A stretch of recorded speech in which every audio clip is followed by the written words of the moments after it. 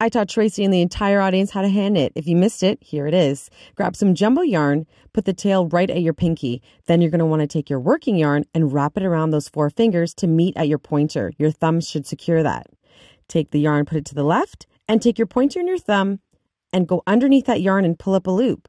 Hold that loop on tight, let go, and pull the tail. There's your slip knot. Now we're going to make chains. Use your pointer and your thumb again and pull through the yarn to make as many chains as needed for the project you're working on. Make sure that last loop is facing upwards. Now you're going to take your pointer and your thumb and pull that working yarn through each chain that you've made. You're going to do this and repeat it for the entire project. That's all you're doing. This is hand knitting. So you're just going to pull through all the loops through every hole. Now we're going to fasten off this blanket and get a nice clean edge. First loop goes through, just like always. Now grab the one you created and the one right beside it and pull the yarn through. Grab the loop you made and the one beside it and pull your yarn through. And that's it, you're knitting.